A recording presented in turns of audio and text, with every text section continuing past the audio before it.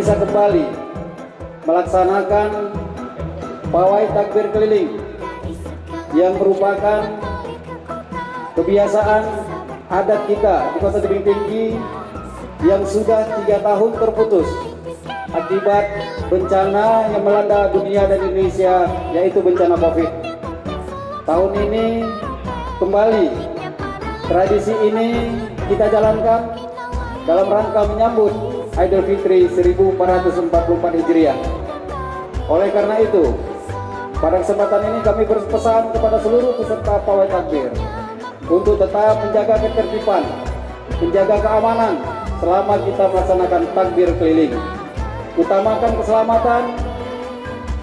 Mari kita laksanakan dengan hikmat takbir keliling ini agar kita mendapat rahmat dan ridho dari Allah Subhanahu wa taala.